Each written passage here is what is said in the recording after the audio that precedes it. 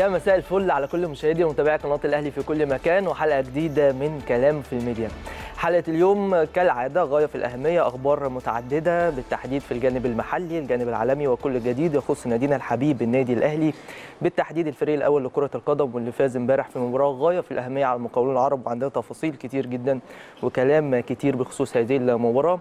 وبخصوص ما هو قادم من تحديات مهمة للفريق بالتحديد التحدي الأفريقي وهي الصفحة الأهم حاليا بالنسبة لكل الأهلاوية في كل مكان.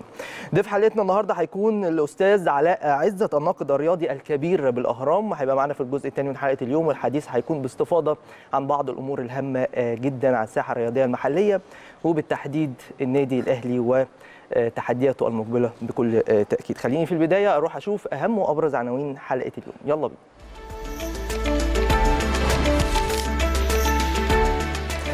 الأهلي راحة 48 ساعة ويبدأ الأربعاء الاستعداد للنجم الساحلي.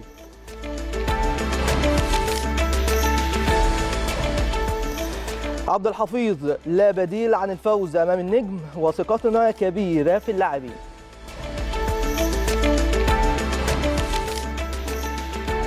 الأهلي يبدأ التحضير لرحلة السودان.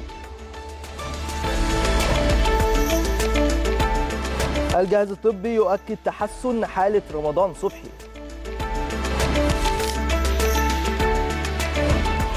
فيفا يرفض طلب اللجنة الخماسية بالترشح في انتخابات الجبلاية.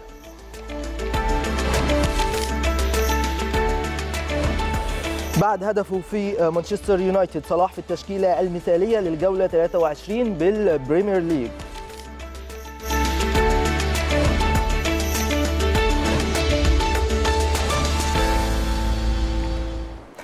عندنا جوانب كتير جدا بخصوص مباراة الأمس. أكيد ألف مليون مبروك لكل جمهور النادي الأهلي في كل مكان. مباراة كانت غاية في الأهمية لأن أنت كنت بتلعب مع المنافس المباشر ليك على بطولة الدوري حاليا وهو كان فريق المقاولين العرب. فترة من الفترات كده بيجي لك كل فريق بتبقى بالنسبة لك مباراة قمة سواء كان الاتحاد قبل كده قطعت بالاتحاد بعدت الاتحاد السكندري. دلوقتي أنت بتبعد المقاولين العرب وبتغرد منفردا في صدارة ترتيب بطولة الدوري بفارق نقاط مريح مع فريق المقاولون العرب حاليا فرق النقاط زي ما حضراتكم عارفين سبعة نقاط والأهلي ليه مباراتين مؤجلتين بإذن الله بإذن الله قد يصل لفارق 13 نقطة وده هيبقى أمر غاية في الأهمية. مباراة كانت مميزة جدا أداء يعني معقول طبعا طبقا للظروف اللي بيمر بيها النادي الأهلي على مدار الفترة اللي فاتت من حيث ضغط المباريات والإصابات وكل هذه الأمور لكن أهم شيء في كل الأحوال هو الفوز والثلاث نقاط عشان الملف المحلي والتحدي المحلي تبقى ماشي فيه بالشكل المطلوب. 12 فوز متتالي رقم ممتاز جدا بالنسبة للنادي الأهلي. ما حصلش من سنين كتير جدا. آخر مرة حصل الرقم ده كان أيام مستر بونفرير بالتحديد موسم 2002 2003 وقدر النادي الأهلي إن هو يفوز في 12 مباراة متتالية. وحصل طبعا مستر مانويل جوزيه في موسم 2004 2005 ما وصلنا 17 مباراة متتالية في بطولة الدوري. لكن في جوانب عديدة بتخص هذه المباراه طبعا إحنا كسبنا 2-0 بهدفي حسين الشحات ووليد سليمان الهدف الرائع والمميز جدا وأحد أفضل أهداف الدوري هذا الموسم. لكن في واحد في الحقيقة مش واخد حقه قوي. ولازم نديله حقه بصراحة عمرو السولية. نجم المباراة الأول امبارح لعيب كبير جدا جدا في نص الملعب والفترة اللي فاتت يعني الناس ما بتبقاش مركزة شوية مع عمرو السولية لما بس يبقى مستواه قلل شوية يقول لك أصل عمرو السولية وحش. لا الراجل بقاله فترة مستوى ثابت مع أي مدير فني بيبقى موجود هو العنصر الأساسي في تشكيلة النادي الأهلي وبيضيف في الجوانب الهجومية الجوانب الدفاعية بشكل ممتاز. امبارح عمل اثنين assist بالنسبة للهدفين بالنسبة للنادي الأهلي. الهدف الأول حسين والهدف الثاني assist أكثر من رائع لوليد سليمان. وطبعا وليد تصرف فيها بشكل ما فيش أحسن من كده بصراحة يعني. يعني كرة حلوة وهدف حلو قوي يعني بنتفرج عليه أهو. تفكير عمرو السولية وإن هو يودي الكرة في المنطقة دي لوليد ووليد يلعبها بالأسلوب والتكنيك ده في الحقيقة أمر ممتاز. الواحد وهو بيتفرج على الماتش قاعد يسقف يعني من حلاوة الجون. فبالتالي جون ممتاز جدا ونقاط ثلاثة مهمة جدا بالنسبة للنادي الأهلي في مشوار بطولة الدوري. من ضمن كمان المكاسب على مدار المباراة اللي فاتت دي اللي هي أمام المقاولين والمباراه اللي قبلها كان ياسر إبراهيم بصراحة. لأن ياسر إبراهيم مدافع كويس. جه فترة من فترات كده مستر فايلر يعني ما كانش بيستعين بيه. كان ليه بعض الملاحظات الفنية. الميزة هنا بقى في اللاعب لما تدي له ملاحظات يشتغل عليها يطور من نفسه فبالتالي يلاقي نفسه في التشكيل الأساسي. حصل مع ياسر إبراهيم الكلام ده وده أمر مهم جدا لازم نركز فيه. لما يكون اللاعب عنده نواقص سواء فنية أو نواقص آه، خاصة بالتركيز مثلا ويقدر يعالج من نفسه ويشتغل على نفسه فبالتالي يرجع ويبقى موجود في التشكيل الأساسي آه، أمر مميز جدا بالنسبة للاعب وشخصية اللاعب بالطريقة دي تتناسب بالشكل ال- آه، الكبير مع آه، فريق النادي الأهلي. ده اللي حصل مع ياسر إبراهيم بيتالق على مدار مباراة الأمس والمباراة اللي قبلها بشكل ممتاز وأعتقد هيكون من العناصر المؤثرة جدا في صفوف النادي الأهلي خلال الفترة المقبلة. وليد سليمان طبعا فيش غبار عليه لعيب كبير وتاريخ كبير وخبرات عظيمة مع النادي الأهلي 35 سنة والراجل إيه 8 جايب ست أهداف في الدوري. أمر مميز جدا وما كانش بيلعب بشكل أساسي يعني. لكن لما بينزل بيبقى مؤثر وليد سليمان سواء كأساسي أو آه، كبديل. فقيمة كبيرة جدا وليد سليمان سواء هو أحمد فتحي أو اللعيبه الكبار يعني في النادي الأهلي آه، عاشور اكرامي الناس الكبيرة دي يعني أكيد ليهم دور مميز جدا آه، في مسيرة الفريق. فبالتالي امبارح كان انتصار مهم لكن الأهم القادم. أنت دلوقتي كده قفلت الملف المحلي وماشي فيه 10 على 10 10 على 10 كسبت كل الماتشات والدنيا تمام زي الفل. اللي جاي بقى إيه؟ المهم. المهم اللي هو إيه؟ ماتشين. النجم الساحلي في القاهرة والهلال السوداني في السودان. ماتشين حاسمين في مشوار النادي الأهلي الأفريقي. آه، مهم قوي إن أنت تكسب بإذن الله. تعالى النجم هنا تقطع النجم بإذن الله. إحنا قادرين ونكسب والدنيا تبقى كويسة وإحنا أفضل. الأهلي هو الأفضل. طبقا للمباريات الأخيرة طبقا لمسيرته سواء الأفريقية والمحلية لأن إحنا افريقيا إحنا تعثرنا آه أول مباراة مع النجم وتعادلنا مع بلاتينيوم خارج الأرض. ممكن ده تعادل ما يرضيش البعض لكن في نفس الوقت أنت الفرص كلها في إيدك. تقدر من خلال المباراة اللي جاية أمام النجم الساحلي قدامك أسبوع بتستعد من خلاله سواء من خلال طبعا آه، 48 ساعة راحة وبعد كده استئناف في التدريبات عشان تستعد للمباراة بشكل آه، جيد. آه، لغاية يوم الأحد بإذن الله تعالى تلعب هذه المباراة تضيف آه، ثلاث نقاط وتتفرج للمباراة الأخيرة والحاسمة في آه، دور المجموعات. مباراة الهلال السوداني وهتترتب طبعا أهمية هذه المباراة على نتيجة الهلال السوداني مع بلاتينيوم هناك آه، في زيمبابوي. نتمنى كل التوفيق بالنسبة للنادي الأهلي خلال المرحلة اللي جاية.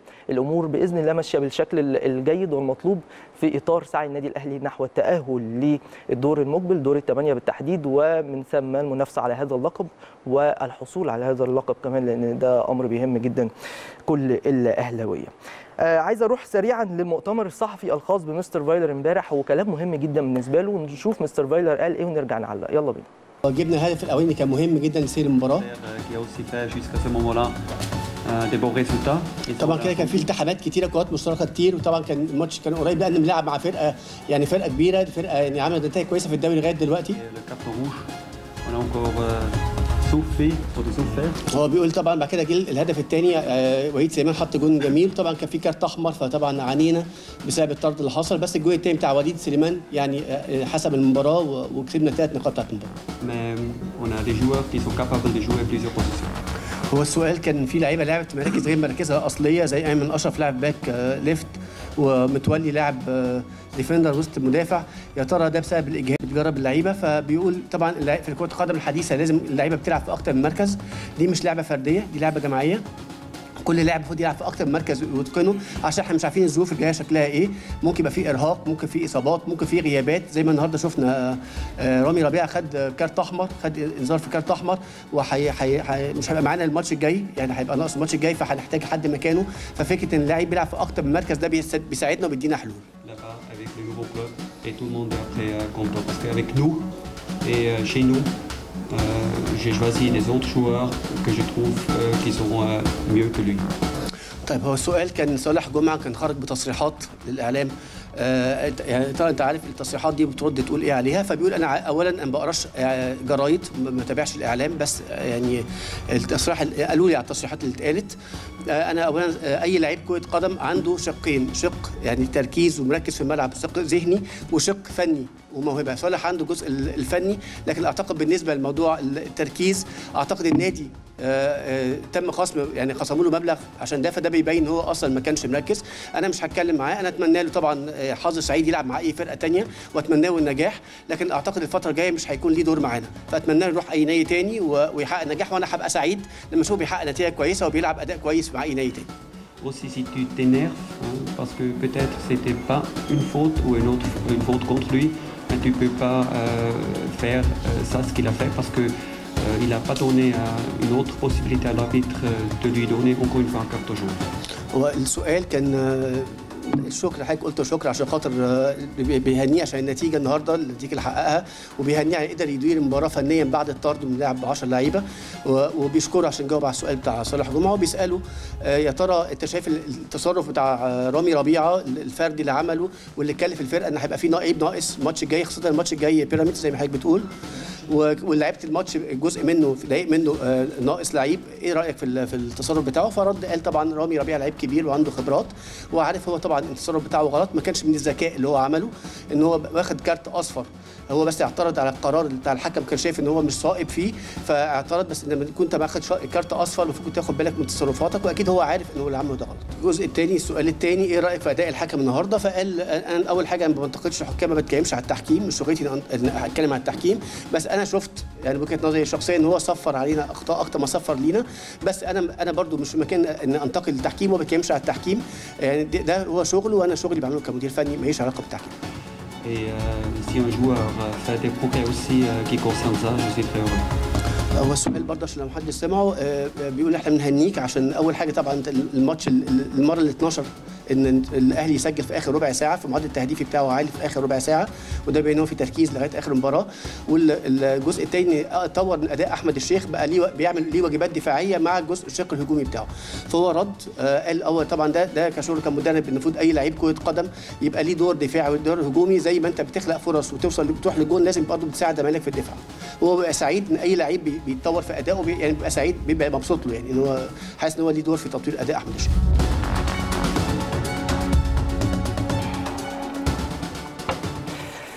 كلام مهم جدا طبعا مستر فايلر وبالتحديد عايزين نتكلم في جزئين. بخصوص كلام الراجل سواء فيما يتعلق برامي ربيعه أو فيما يتعلق بصالح جمعه طبعا موضوع رامي ربيعه امبارح ده يعني خطأ كبير جدا من اللاعب يعني المفروض يبقى فيه ثبات انفعالي بشكل أكبر من كده لأن أنت ما تضمنش. أنت كنت كاسب 1-0 بس الواحد قلق بصراحة لما طرد رامي ربيعه بعد تصرفه وإن هو شتت الكورة كده بعد ما الحكم صفر وكان عنده إنذار. فمهم قوي إن رامي يتعلم من جزئية زي دي. طبعا لعيب كبير ولاعب مهم جدا في صفوف النادي الأهلي وإضافة بكل تأكيد طبعا يعني. لكن الغلطات الصغيرة زي دي ممكن تأثر في ماتشات مهمة قوي آه، وممكن ماتشات تزيد أهمية كمان فيما آه، هو قادم بعد مباريات المقاولين يعني. فخطأ يتعلم منه رامي ربيعة وعجبني جدا إن مستر فايلر في المؤتمر الصحفي هو بيتكلم على جزئية رامي ربيعة دي بيتكلم بهدوء خالص. لعيب آه آه، غلط اتسرع في تصرفه وكلام من ده لكن لعيب كبير يعني واخد الموضوع إيه؟ بهدوء خالص كده راجل ممتاز في الحقيقة في تصريحاته يعني.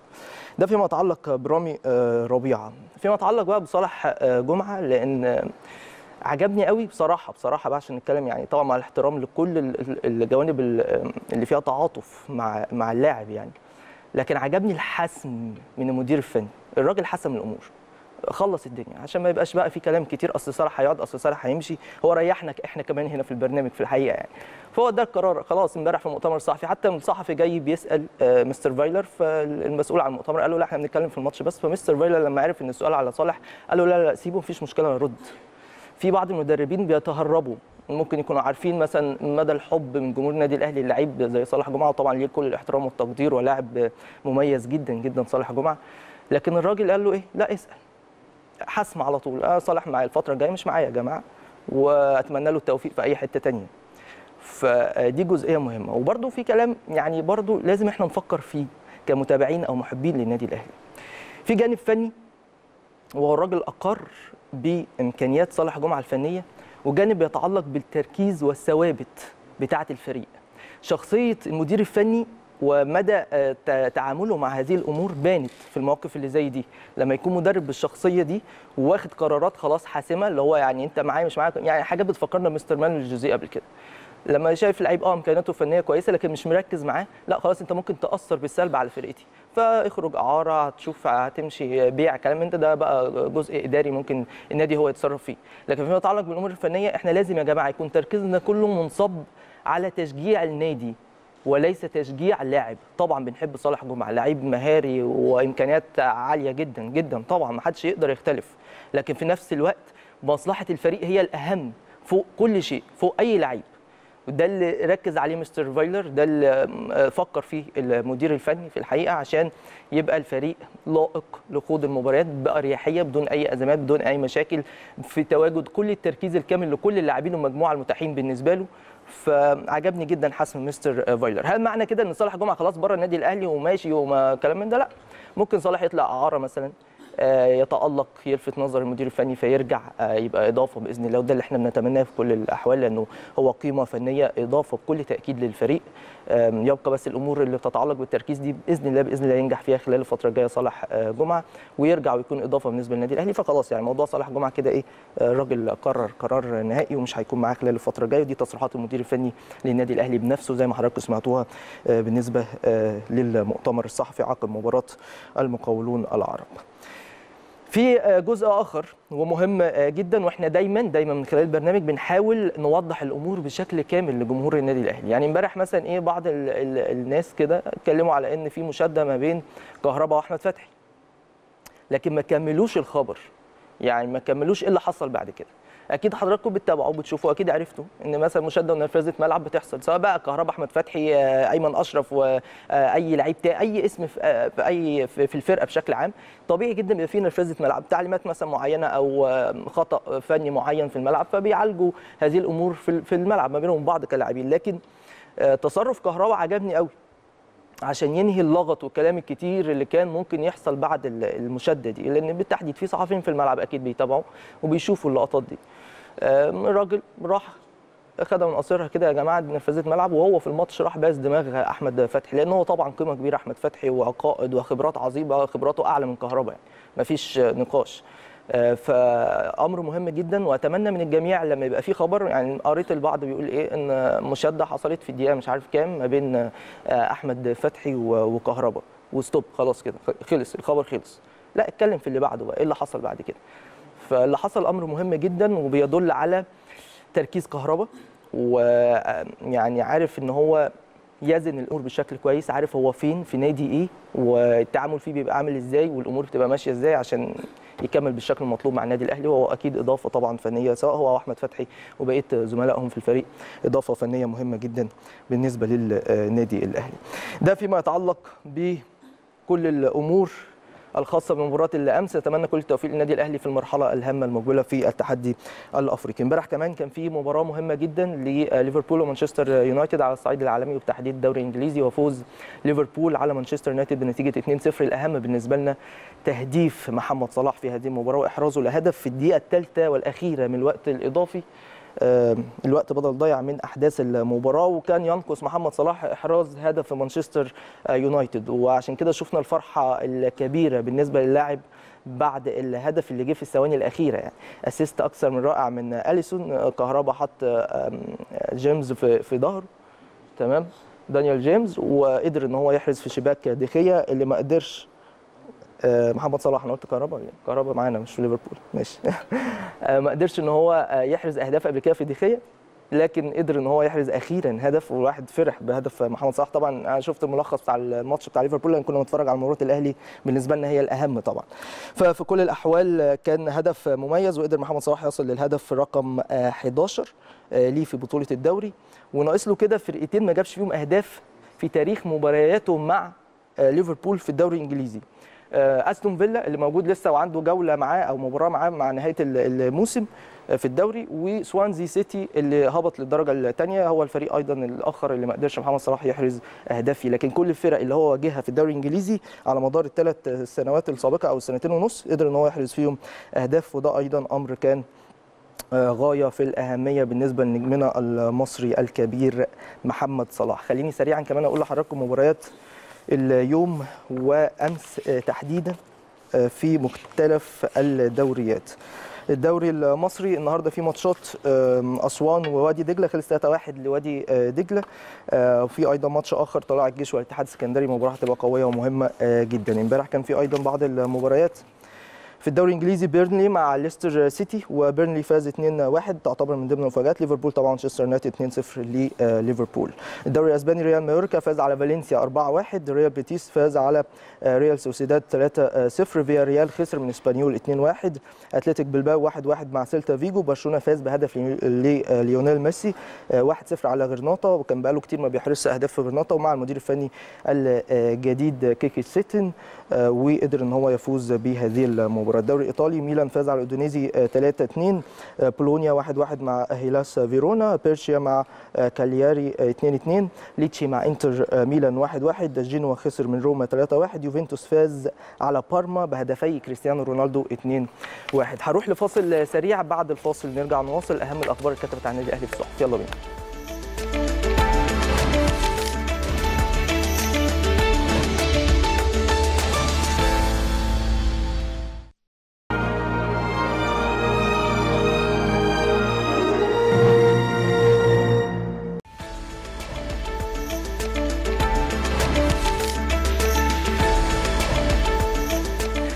بحضراتكم من جديد. خليني سريعا أطمن حضراتكم بشكل أكبر على فريق النادي الأهلي وبرنامج الإعداد للفترة اللي جاية وللمباراه القادمة أمام النجم الساحلي. فنشوف بعض الأخبار الهامة الخاصة بالفريق. يعني الأهلي مثلا زي ما حضراتكم عارفين راحة 48 ساعة النهارده وبكرة ويستأنف التدريبات بعد بكرة إن شاء الله بإذن الله تعالى بشكل طبيعي ويستعد بالشكل المطلوب والأنسب لمباراة النجم الساحلي اللي مقرر ليها بإذن الله تعالى يوم الأحد 26 يناير الجاري في الجولة الخامسة من دور المجموعات بدوري أبطال أفريقيا. الجهاز الفني في المقابل ابتدى إيه؟ ابتدى دراسة فريق النجم الساحلي بالفيديو من خلال ست مباريات بالتحديد لهذا الفريق سواء بعض المباريات الخاصة بيهم في بطولة الدوري التونسي أو مباراته مع النادي الأهلي في الجولة الاولى أو أيضا مبارياته الأخيرة آخر مباراتين بالتحديد ليه في دور المجموعات من دوري أبطال أفريقيا سواء أمام الهلال أو بلاتينيوم فكل هذه الأمور هيتم دراستها بشكل جيد من خلال هذه اللقطات الخاصة بفريق النجم الساحلي من قبل الجهاز الفني اللي بيعكف على الدراسة بداية من اليوم ومرورا طبعا على مدار الفترة الجاية حتى موعد المباراة. فيما يتعلق بالكابتن سعد عبد الحفيظ وبعض التصريحات الهامة ليه الراجل قال لا بديل عن الفوز أمام النجم الساحلي وده طبعا أمر مفروغ منه بإذن الله تعالى تعالى نكون موفقين ده أهم شيء. وقال كمان إن إحنا بنثق في قدرات لاعبي الأهلي وتطرق لأهمية هذه المباراة وصعوبتها وحساسية المواجهة خصوصا إن النادي الأهلي ما قدموش غير الفوز والثلاث نقاط عشان يقرب من التأهل بإذن الله تعالى لدور الثمانيه قال إن إحنا عندنا ثقة كبيرة جدا في قدرات لاعبي الأهلي دي تصريحات على لسان كابتن سيد عبد الحفيظ ثقة كبيرة في قدرات اللاعبين وفوزهم بإذن الله في المباراة الجاية وخصوصا في ظل تلاحم المباريات والفترات الزمنية القصيرة ما بين كل مباراة وأخرى سواء في الجانب المحلي أو الجانب الأفريقي كمان كابتن سيد عبد الحفيظ تطرق لأهمية ال 48 ساعة اللي هم راحة بالنسبة للنادي الأهلي أو بالنسبة للاعبين وده بسبب أو يعني كمساعدة لالتقاط الأنفاس خاصة أن الفريق كله كان بيعاني من خلال الفترة اللي فاتت وعشان بإذن الله يبتدي بالتحضير بالشكل الجيد للمواجهة المقبلة. أيضا كابتن سعد عبد الحفيظ يجتمع مع الجهاز الإداري لترتيب رحلة السودان والأهلي دايما بيشتغل زي ما حضراتكم عارفين من الجانب الإداري بشكل مبكر جدا بخصوص أي رحلة سواء فيما يتعلق بمواعيد السفر فيما يتعلق بملاعب التدريبات فندق الإقامة كل هذه الأمور. فالكابتن سعد عبد الحفيظ بيتواصل مع الكابتن سمير عدلي المدير الإداري لفريق النادي الأهلي عشان يتم التنسيق بشكل مبكر للسفر. مع إن خلاص يعني السفر هيكون أعتقد مباشرة يعني بعد مباراة النجم الساحلي تلعب يوم الأحد يعني ممكن تسافر يوم الثلاث لأن المفروض إن مباراة الهلال هتكون أول الشهر يعني يوم واحد في شهر فبراير يعني. فنتمنى لهم كل التوفيق في مجموع المباراتين بإذن الله تعالى. فيما يتعلق بحالة رمضان صبحي وده أمر مهم جدا بالنسبة لجمهور النادي الأهلي. رمضان ماشي بخطوات جيدة جدا في برنامجه العلاجي والتأهيلي وهيخش تدريجيا في التدريبات الجماعية بشكل طبيعي مع الفريق. موضوع إنه يلحق مباراة النجم ولا لأ الفرص صعبة شوية لكن هنشوف إيه اللي هيحصل خلال الفترة الجاية على حسب تطور حالة اللاعب رمضان صبحي. طبعا هو قيمة كبيرة وإضافة فنية كبيرة بالنسبة للنادي الأهلي في حالة عودته عودته لمباراة النجم. حتى لو ما رجعش إن شاء الله عندنا طبعا لاعبين ممتازين يقدروا إن هم يحققوا أهداف جمهور النادي الأهلي في كل مكان. نروح نشوف أخبار الأهلي في الصحف النهارده يلا بينا.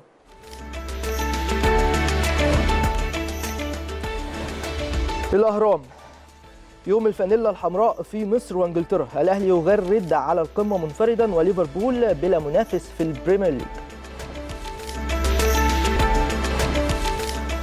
الأخبار الأهلي يروض الذئاب الفارس الأحمر يعزز الصدارة بفوز مثير على المقاولون بهدفي الشحات والحاوي.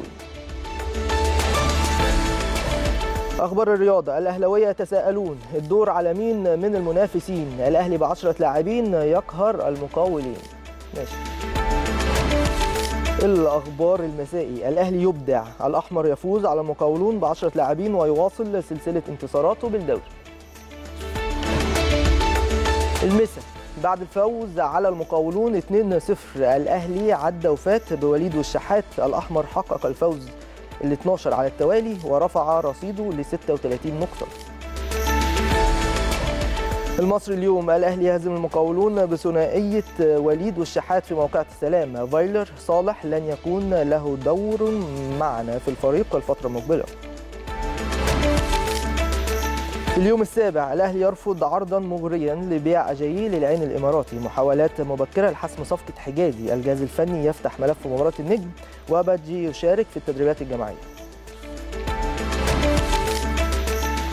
الشروق. فايلر يدرس سيناريو عدم الاعتماد على بادجي أمام النجم الساحلي. تأكد غياب رمضان صبحي ومحاولات لإقناع آزارو بالانتقال للاتفاق السعودي. انتظار عرض إماراتي لجيرالدو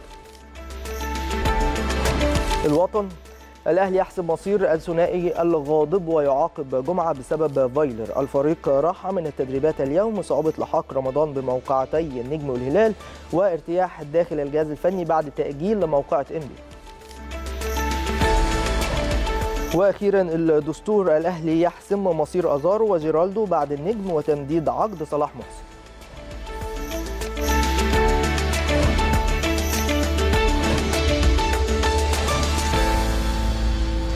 طيب خلينا نبتدي بجريدة الأهرام واللي بتتكلم عن انتصار النادي الأهلي بالأمس وربطت كمان ما بين انتصار النادي الأهلي وانتصار ليفربول. طبعا آه الفريق الإنجليزي المتصدر لبطولة الدوري الإنجليزي نفس الحال بالنسبة للنادي الأهلي. بيقول لك يوم الفانيلا الحمراء في آه مصر وإنجلترا الأهلي يغرد على القمه منفردا بعد طبعا فوزه على امبارح بالامس على فريق المقاولون العرب بهدفي وليد سليمان وحسين الشحات وليفربول بلا منافس في البريمير ليج. وده حقيقي لأن ليفربول فارق النقاط ما بينه وما بين مانشستر سيتي. دلوقتي بقى 16 نقطة. كمان ليفربول لو كسب كسب المباراة المؤجلة بالنسبة له هيبقى فرق 19 نقطة. يعني الموضوع خلاص خلص. يعني هو مبروك لجمهور ليفربول طبعا عودة بطوله الدوري بعد 30 سنة. حامل اللقب يهزم المقاولون والحاوي صاحب أجمل لقطة وصلاح يفك عقدته أمام ديخيا ويحرز هدفه الأول في اليونايتد. طب ما تجيب لي كده يا عمارة الجدول المصري جدول الدوري المصري وجدول الدوري الإنجليزي كده جنب بعض. نحاول نقارن شوية نسبيا ما بينهم هما الاثنين لأن في تقارب فعلا في الحقيقة في شكل المنافسة سواء الدوري أو الدوري الإنجليزي. الأهلي منفرد زي ما حضراتكم شايفين كده. مش عارف هي واضحة لحضراتكم في الشاشة ولا لأ لكن يعني ليفربول طبعا إحنا لعب إيه 23 مباراة ولا 22 يا جماعة؟ قولوا لي 22 مباراة أعتقد. تمام؟ وما شاء الله يعني كسب كل المباريات ما عدا تعادل وحيد كان في الجولة التاسعة بعد 8 انتصارات متتالية. ده الفرق ما بين ليفربول والنادي الأهلي حاليا. الأهلي لعب 12 مباراة ما تعادلش ولا خسر ولا ماتش. ووصل للجولة 12 كمان من خلال 12 فوز. ليفربول لما جه عند الجولة التاسعة كده يمكن إيه تعادل ماتش مع مانشستر يونايتد في الجولة الأولى أو المباراة الأولى بالنسبة لهم هناك في الأولد ترافلد فرق النقاط ما بين ليفربول ومانشستر سيتي دلوقتي 16 نقطة. فرق النقاط ما بين الأهلي والمقاولين العرب حوالي سبعة نقاط والأهلي ليه ماتشين مؤجلين يعني ممكن يوصل ل 13 نقطة. ففعلا في تقارب شوية زي ما الأهرام كده بتقول في شكل المنافسة ما بين الدوري المصري الأهلي وبقية الأندية والدوري الإنجليزي ليفربول وباقي الأندية في الدوري الإنجليزي. إحنا نتمنى في الحقيقة نتمنى الأهلي يتوج ببطولة الدوري بإذن الله السنة دي. ونفس الحال نتمنى ليفربول عشان يبقى إنجاز كبير جدا محمد صلاح إنه يساهم مع الجيل الحالي في عودة البريمير ليج أو الدوري الإنجليزي آه لليفربول بعد 30 سنة. آخر مرة فازوا بيه في عام آه 90 طيب خلينا نروح لخبر آخر من أخبار الرياضة. أخبار الرياضة بتقول إيه؟ بتقول الأهلاوية يتساءلون الدور على مين من المنافسين الأهلي بعشرة لاعبين يقهر المقاولين. يعني يعني كلام وعناوين بتبقى طبعا في اتجاه الإشادة بفريق النادي الأهلي خصوصا بعد الانتصارات المتتالية ما شاء الله وبعد تألق لاعبين. لكن في نفس الوقت يا جماعة مش عايزين ننسى إن طبعا في فرق كبيرة جدا في مصر وفي منافسة. يعني أنت الماتش الجاي مثلا اللي عندك في الدوري هيكون مع بيراميدز. بعد ما تلعب النجم الساحلي وتلعب الهلال هتلاعب بيراميدز فمباراه هتبقى قوية جدا فريق قوي وعنده إمكانيات كبيرة. فمش عايزين نقلل من من الفرق اللي بتقابل النادي الاهلي في كل الاحوال لكن هي عبارة عن حالة ثقه واضحة جدا في العنوان ده من كاتب هذا العنوان في فريق النادي الاهلي وقدرته طبعا على مصر الانتصارات وأيضا في ثقة متبادلة دلوقتي أو مش عايز أقول متبادلة ثقة من جمهور النادي الاهلي في لعيبته وجهازه الفني بالتحديد في الجانب المحلي. الجانب الأفريقي إن شاء الله إحنا ماشيين معاهم كده واحدة واحدة وبإذن الله بإذن الله يقدروا يفرحونا كمان زي ما بيفرحونا في بطولة الدوري. نروح لخبر آخر من المسا. وأيضا الكلام على مباراة الأهلي والمقاولين. قال لك إيه الفوز على على بعد الفوز على المقاولون 2-0 الأهلي عدى وفات بوليد والشحات. الأحمر حقق الفوز ال 12 على التوالي ورفع رصيده ل 36 نقطة. يعني آه برضو إشادة كبيرة جدا بالنسبة للنادي الأهلي بعد الفوز والتألق في مباراة الامس وهتلاقي العناوين كلها متشابهة. يعني بتشيد بالنادي الأهلي آه بعد هذا الكم الهائل من الانتصارات المتتالية. وكمان كانوا بيشيروا يعني لعدد الانتصارات المتتالية اللي حصلت أيام مستر بونفرير 12 انتصار متتالي وينقص بس النادي الأهلي إن هو يوصل ويعدي مع مستر فايلر بإذن الله 17 انتصار متتالي وده هيبقى أمر مهم جدا مش هو الأهم طبعا لكن هيبقى رقم قياسي مميز يضاف لمستر فايلر والفريق حاليا يعني. نروح لليوم السابع نتكلم بقى في بعض الأمور الأخرى بخلاف مباراة الأهلي والمقاولون. وبيتكلموا على إن الأهلي يرفض عرضا مغريا لبيع اجاييه للعين الإماراتي. ما كانش في أي عرض رسمي جه لاجاييه من العين الإماراتي لكن ممكن كان في كلام شفهي يعني اللي هو يا جماعة إيه عندكم رغبة تسيبوا اجاييه ولا لا الأهلي طبعا متمسك باجاييه وده رد على أحد يعني الصحفيين اللي كان كتب من أسبوع كده باين إن اجاييه ماشي من الأهلي يعني وإن فايلر مش عايزه. الراجل بيلعب أساسي طبعا على طول وحتى لما جاله عرض حتى لو شفهي الأهلي رافض طبعا التفريط في اللاعب وأكيد مستر فايلر مقتنع بيه أو بي بي بيلعبه بشكل كبير جدا زي ما إحنا متابعين في صفوف الفريق. بيقول لك إيه كمان؟ محاولات مبكرة لحسم صفقة حجازي. خلينا نتكلم بصراحة موضوع حجازي مش بس حتة إن هو كاسم مثلا أحمد حجازي أو حاجة لكن هو دايما النادي الأهلي بيخطط للمستقبل. أنت دلوقتي في شهر يناير آه قدرت إن أنت تجيب كهرباء تجيب أليو بادجي وبالتالي أنت خلاص قفلت قائمتك في شهر يناير. الصيف الجاي بقى أنت هتعمل إيه؟ بتخطط من دلوقتي النواقص اللي عندك ممكن تكون إيه؟ من طبعا من خلال لجنة تخطيط للكرة وتواصلها مع آه مستر فايلر. في الآخر هيستقروا على مين اللي هو آه أو مين العناصر اللي ممكن يتم الاختيار بينها عشان يكونوا إضافة للنادي الأهلي في الصيف اللي جاي. فدايما بيبقى في يعني خطة بعيدة المدى النادي الأهلي بيبقى مأكد عليها أو بيبقى مخطط ليها بشكل جيد عشان يقدر يخلي الفريق دايما في في مستوياته الرائعة في بطولة الدوري وبطولة دوري أبطال أفريقيا. فده أمر يعني بيمتاز بيه النادي الأهلي دايما. الجهاز الفني يفتح ملف مباراة النجم وده أمر طبيعي جدا. وباجي يشارك في التدريبات الجماعية. لا لسه هو ما شاركش في التدريبات الجماعية لكن ممكن يشارك قبل 48 ساعة بالظبط مباراة النجم الساحلي. قرار بقى تواجده في قائمة المباراة ولا لا ده يرجع للجهاز الفني. هنشوف بقى. على حسب كمان المكان أو اللاعب اللي هيخرج عشان يتم إضافة اسم اليو بادجي محليا ومن ثم إضافته افريقيا. نروح للشروق. والشروق بتتكلم عن السيناريو الخاص بمباراة النجم الساحلي واحتمالية عدم الاعتماد على أليو بادجي. ومستر فايلر أكيد بيدرس هذا السيناريو وكيفية خوض هذه المباراة الاحتمالية مش عشان موضوع بس القيد وكلام من ده لا ممكن يكون عشان الجاهزية الفنية والبدنية بالنسبة للاعب. آخر ماتش لعبه قبل أعياد الكريسماس أعتقد مع فريقه رابط فينينا فريقه السابق فبالتالي هو بعيد عن الحساسية ممكن نسبيا. حتى لو فترة أسبوعين أو حاجة لكن في نفس الوقت لازم يكون جاهز بنسبة 100% عشان يتم الدفع بيه. ده طبعا أو دي رؤية خاصة بالجهاز الفني هو أدرى يعني. تأكيد غياب رمضان صبحي لسه مش بشكل رسمي لكن يعني اعتبر رمضان صبحي مش موجود معانا في المباراة اللي جاية. عندنا لاعبين جاهزين إن شاء الله يكسبونا بإذن الله تعالى. محاولات لإقناع ازار بالاتفاق السعودي إن هو ينتقل للاتفاق السعودي وانتظار عرض إماراتي لجيرالدو. امبارح كان في تصريحات للكابتن سيد عبد الحفيظ بعد المباراة وقال إحنا لسه ما استقرناش مين اللي هيمشي سواء أزارو أو جيرالدو والموضوع محل تقييم وبعض العروض اللي ممكن تيجي للاعب ده أو اللاعب ده وبعد كده يتخذ القرارات الأنسب في صالح النادي الأهلي وأكيد في صالح لاعبيه لأن هم أيضا لاعبيه سواء جيرالدو أو أزارو. اعتقد أعتقد يعني لو حد مشي فيهم ممكن يكون على سبيل الإعارة مش على سبيل البيع يعني. هنشوف خلال الفترة اللي جاية. تعالوا نروح للدستور. آخر خبر معانا. والأهلي يحسم مصير آزار وجيرالدو بعد النجم وتمديد عقد صلاح محسن. ربما ربما الأهلي يحسم بعد مباراة النجم لأن أنت في كل الأحوال لو الاثنين موجودين معاك لمباراة النجم اذا هم متاحين للجهاز الفني. ممكن تستعين بأحدهما في هذه المباراة. والاثنين جاهزين والدنيا زي الفل. آه ممكن ازارو بس عنده زي جزع في إيده مثلا أو حاجة فمش موجود الفترة دي. لكن زي ما قلت لحضراتكم لسه ممكن تلاقي حد فيهم بيلعب أساسي في مباراة النجم أو واحد فيهم. الكلام ده هيحدد أو هيبان على مدار الأيام القليلة جدا المقبلة. موضوع تمديد عقد صلاح محسن ده تحسبا لخروج اعاره لو هيخرج اعاره في الغالب ممكن يتم تجديد عقده يعني. فهنشوف الأمور دي آه، هيتم الإعلان عنها بشكل رسمي من قبل النادي الأهلي بكل تأكيد. أخبار الأهلي في المواقع إيه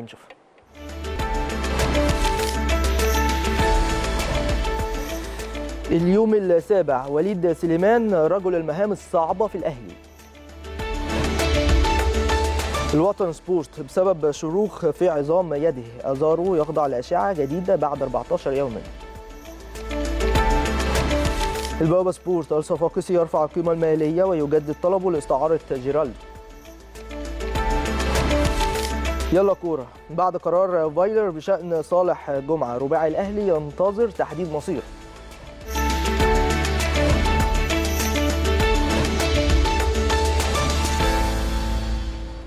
طيب آه، اليوم السابع والكلام على وليد سليمان طبعا والاشاده كل الاشاده بهذا اللاعب المميز واللي بيضيف دايما للنادي الأهلي لما بيكون متواجد في الملعب وبيتكلموا على إن هو رجل المهام الصعبة في الأهلي. بالمناسبة وليد سليمان دلوقتي هو بيحتل المركز الثالث في قائمة هدافي بطولة الدوري. يعني بيجي في الأول عبد الله السعيد 10 أهداف بعديه محمد شريف 8 أهداف وبعد كده وليد سليمان وحسام حسن لاعب سموحة ومهاجم سموحة 6 أهداف وده رقم مميز جدا بالنسبة لوليد سليمان. هو السنة دي كمان لعب آم، 17 مباراة جاب 9 أهداف المجمل كله 6 في الدوري و3 دوري أبطال أفريقيا فبالتالي لعيب لا غنى عنه في صفوف النادي الأهلي. طبعا نجم النادي الأهلي وليد سليمان ونتمنى له دايما التألق والاستمرار على هذا المنوال معاه نروح للوطن سبورت والكلام على آزار. هنفضل بقى إحنا الفترة الجاية دي بنتكلم على آزار وجيرالدو لحد ما يتم الحسم. كل ما نخلص من حاجة تطلع حاجة ثانية بسبب شروخ في عظام آه، يده. ازارو يخضع لأشعة جديدة بعد 14 يوما وازارو كان عنده يعني زي آه، شرخ كده زي ما هو مكتوب في إيده ومجبسها. آه، فبالتالي هيبقى في أشعة طبقا للبرنامج العلاجي الخاص يعني باللاعب. هيتم معرفة مدى التئام هذه الشروخ من خلال هذه الأشعة بعد 14 يوم. هل الأشعة دي تعيقه من المشاركة في التدريبات أو المباريات؟ يعني أعتقد أو عفوا يعني الكسر ده أو الشروخ دي تعيقه ولا لأ؟ هيبان أكتر خلال الفترة الجاية. هنشوف يعني. آه، لكن هو يبقى لاعب مهم طبعا ازارو تعال نروح للبابا سبورت. والكلام على جيرالدو. جيرالدو الصفاقسي يرفع القيمة المالية ويجدد طلبه لاستعارة اللاعب. إحنا عارفين في اهتمام وده حقيقي في اهتمام من من الصفاقسي التونسي بخصوص آه، جيرالدو. كانوا كان في عرض الأول للنادي الأهلي العرض يمكن اللاعب ما كانش موافق عليه لأن القيمة المالية بتاعته قليلة شوية والنادي الأهلي أيضا أعتقد القيمة المالية في التوقيت ده كانت قليلة آه، شوية. لكن الصفاقسي عدل العرض بتاعه وأرسل عرض آخر بالنسبة للنادي الأهلي على حسب ما آه، البوابة سبورت كاتبين. لكن مؤكد إن في طبعا اهتمام من الصفاقسي باللاعب هنشوف المفاوضات خلال الفترة الجاية هتخلص على إيه بخصوص جيرالدو أو ازارو مين فيهم اللي هيقعد مع النادي الأهلي خلال الفترة اللي جاية ايا كان مين اللي هيقعد إن شاء الله بإذن الله يعني يكون إضافة للنادي الأهلي مع زملائه خلال الفترة الجاية لأن إحنا عندنا دوري أبطال أفريقيا هو أهم تحدي بالنسبة للجمهور النادي الأهلي. يلا كورة. بعد قرار فايلر بالشأن صالح جمعة. رباعي الأهلي ينتظر تحديد مصيره قصدهم على مين؟ قصدهم على ازارو وجيرالدو. تمام؟ وصلاح محسن وعمار آه، حمدي. ازارو وجيرالدو إحنا اتكلمنا عليهم خلاص. ما فيش كلام تاني يتقال فيهم يعني, يعني هنشوف ال- الدنيا هتبقى القرار النهائي هيكون إيه. زي ما امبارح كده مستر فايلر اعلن قرار النهائي بخصوص صالح جمعة. لسه ما أعلنش عن قرارات النهائية سواء هو أو كابتن سعد حفيظ أو أحد المسؤولين يعني أو النادي الأهلي بشكل عام يعني بخصوص صلاح محسن وعمار حمدي. أعتقد أعتقد وده الأقرب إن الأهلي هيبقى يعني إيه مستني لآخر شهر يناير بخصوص إعارة أحد لاعبيه سواء عمار أو صلاح محسن. ليه هيستنى لآخر شهر يناير؟ تحسبا للإصابات لا قدر الله اللي ممكن يتعرض ليها أي آه، لاعب الظروف اللي ممكن يمر بيها الفريق فبالتالي تلجأ إن أنت تخلي مثلا واحد زي صلاح محسن ده مقيد افريقيا فممكن تلجأ له آه، في كل الأحوال. بالنسبة لعمار حمدي ممكن تستقر في النهاية على قيد عمار حمدي في القائمه الأفريقية لأن أنت عندك ايدت كهربا هتأيد أليو باجي هيبقى ناقص لك مكان. ممكن يبقى عمار حمدي ممكن يبقى محمد عبد المنعم. برضو قرارات خاصة بالجهاز الفني لكن في تريث شوية بخصوص هذه القرارات مع انتظار نهاية شهر يناير وإغلاق سوق الانتقالات الشتوية أو فترة القيد بالتحديد يعني. طيب أخبار محلية وعالمية سريعا. يلا. سوبر كورة الجبلاية تخاطب اتحاد الكرة النمساوي للحصول على بطاقة بادجي.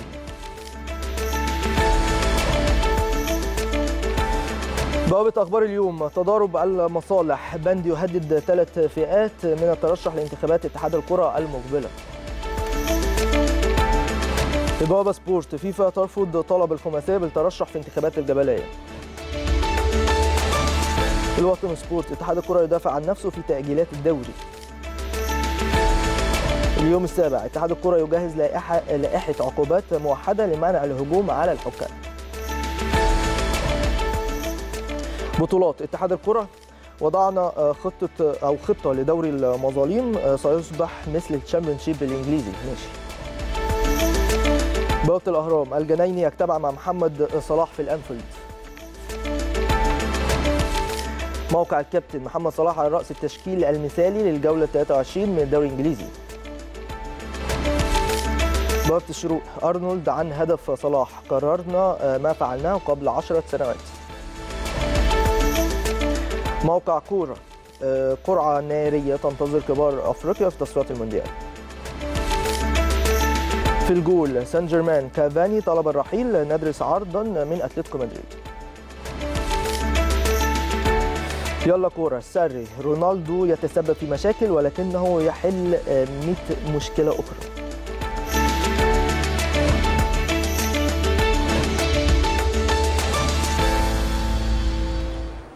طيب خلينا نروح لفاصل سريعا. بعد الفاصل ينضم لي الناقد الرياضي الكبير الأستاذ علاء عزت الناقد الرياضي بالأهرام والحديث هيكون باستفاضة في بعض الملفات الهامه على الساحة الرياضية المحلية وبتحديد فيما يتعلق بنادينا الحبيب النادي الأهلي. استنونا بعد الفاصل.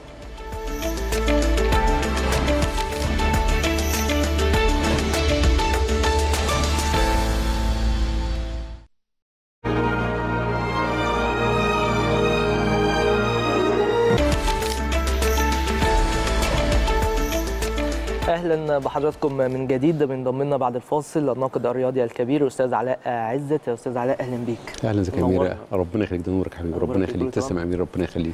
عندنا كلام كتير جدا. آه خلينا نبتدي مباراه امبارح مباراة المقاولين وتقييمك بشكل كامل لمسيرة النادي الأهلي المحلية تحديدا. رأيك؟ أنا شايف إن الأهلي كان محظوظ جدا جدا إن تكون آخر مباراة ليه قبل مباراتين النجم والهلال السوداني مع فريق المقاولين العرب. أعتقد المقاولين العرب ده تقريبا أعتقد مباراة امبارح كانت بروفه حية للنادي الأهلي لمباراة النجم تحديدا. لأن تقريبا النجم هيلعب بنفس الطريقة اللي لعب بيها نادي المقاولين اللي هي ال- ال- التوازن. ما ما فيش اندفاع هجومي في هجمات مرتدة في وصول للمرمى كتير جدا في لياقة بدنية عالية جدا. وكل كل الامتيازات دي موجودة في نادي النجم الساحلي. فأنا يعني امبارح طول ما أنا بتفرج على مباراة الأهلي كنت دايما سعيد.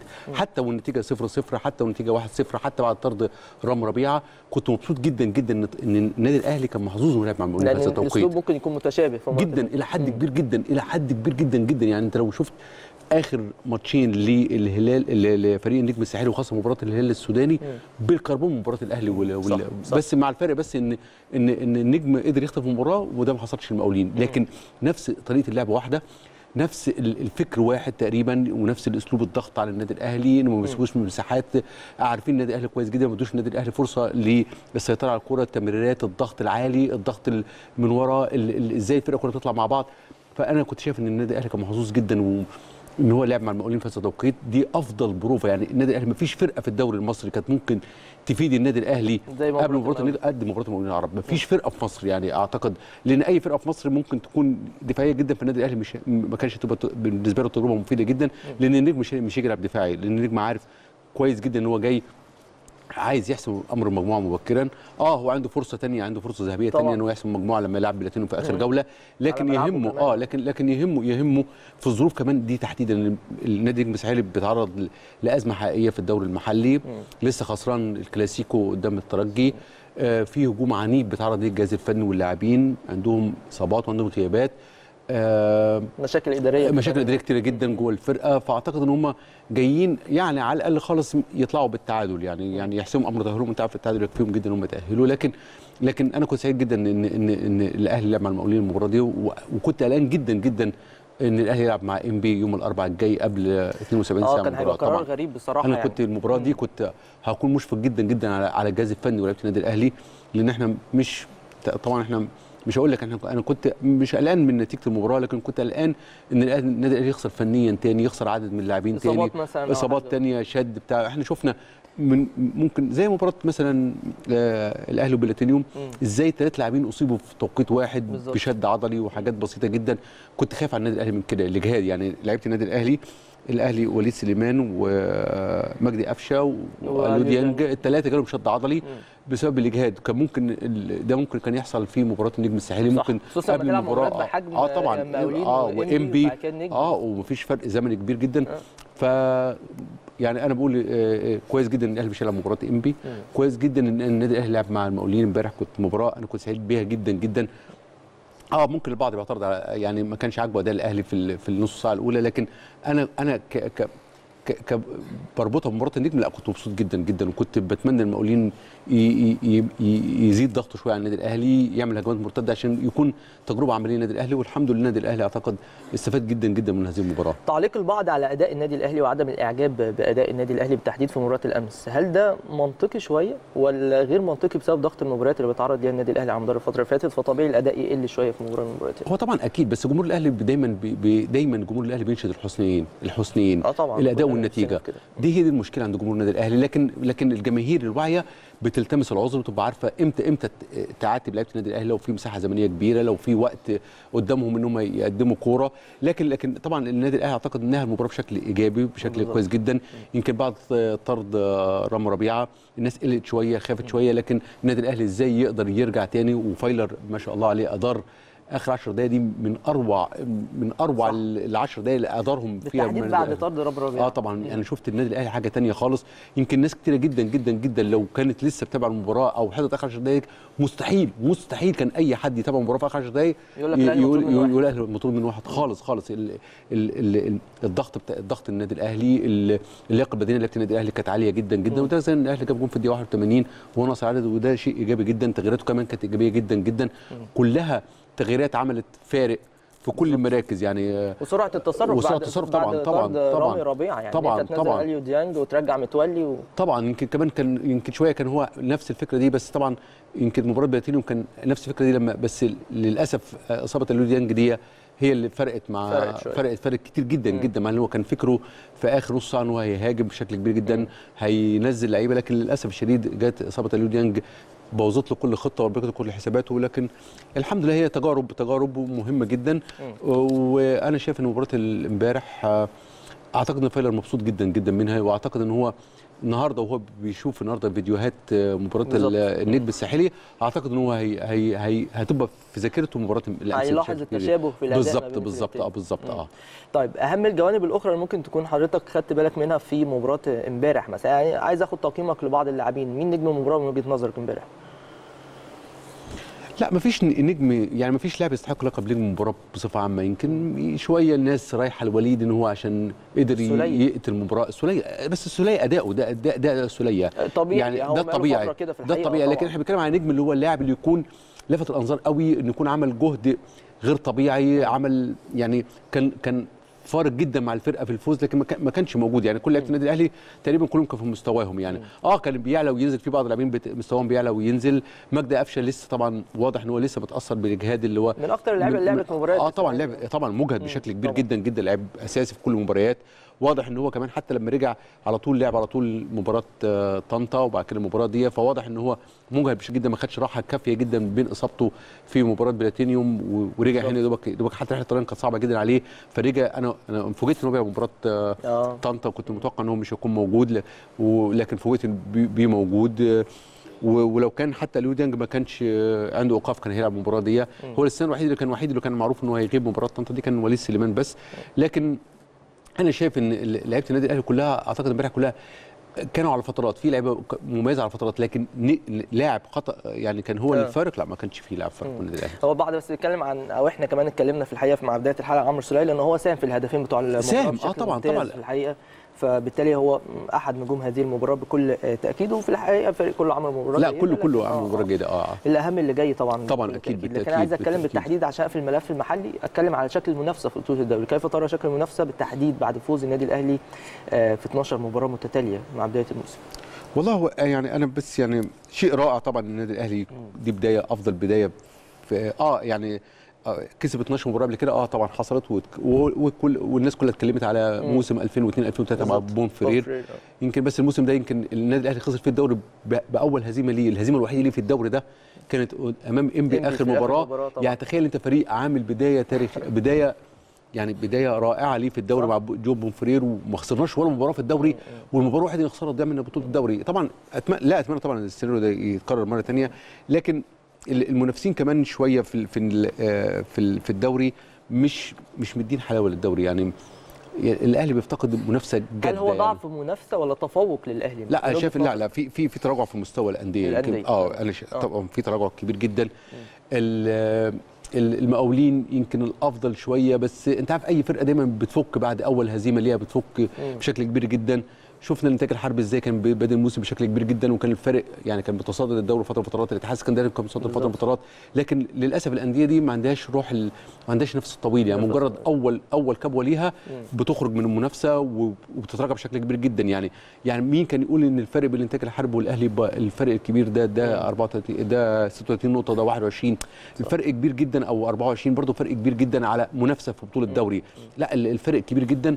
وأنا شايف آه آه النادي الأهلي طبعا مميز. لكن المنافسة لا أعتقد ان ان أندية كتير جدا جدا ما عندهاش القدرة على المنافسة لحد الرمق الأخير ودي يمكن شفنا بس السنة اللي فاتت بس الأهلي والزمالك وبيراميدز إلى حد ما شفنا لحد تقريبا آخر أربع أسابيع في ثلاث أندية. بتنافس بعض بشكل كبير جدا ده بيكسب ده بيكسب فترة. آه يمكن ده أول مرة تحصل من فترة لكن للأسف الشديد ال- أنا أعتقد المنافسه الموسم ده مش موجوده ال- الأهلي بينافس نفسه أعتقد يعني بينافس نفسه آه، أعتقد نسبة كام في. المية ممكن يكون الأهلي اقترب من حسم بطوله الدوري؟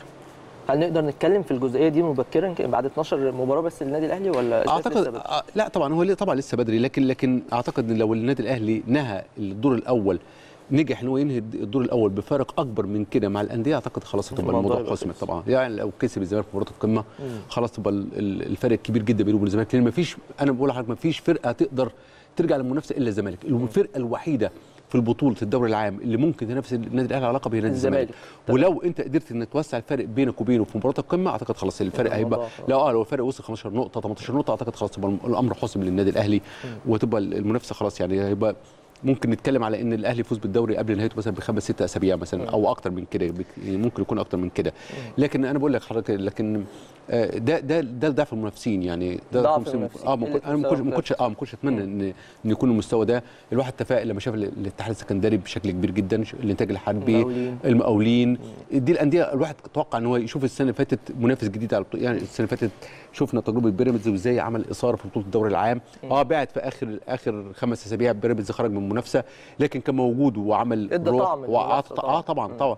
بشكل كبير جدا وخلى مبارياتهم كانت متابعة بشكل كبير جدا. يمكن بعد الأهلي والزمالك كانت أكثر مباراة متابعة أكيد. كانت ال- النادي البيراميدز السنة دي شفنا اتفقنا خير بالاتحاد السكندري والمقاولين والإنتاج الحربي لكن لما كل ما فرق النقاط بي بي بيبعد بي كل بيبعد. آه كل المنافسة بتقل قوي حتى الاهتمام الجماهيري بيقل بالبطولة آه جمهور الأهلي بيغني لوحده أو جمهور الأهلي بيحتفل لوحده بالارقام القياسية لكن أنا مش معنى بالارقام القياسية أنا معنى يمكن النهارده كان في تقرير عاملاه اللجنه لجنة الإحصاءات تبع الفيفا النهارده كانت بتعلن عن الدوريات العربية.